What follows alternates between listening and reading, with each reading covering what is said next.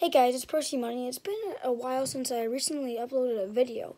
And my birthday's coming around, so I think I'm going to be doing airsoft stuff and I'll be showing you my airsoft gear once it's around my birthday and I'll be showing you all the gear and all the equipment and I'll show you how it works and I'll show you my airsoft gun and yeah, and I'll be doing gameplays. So uh, stay safe guys and I'll see you later.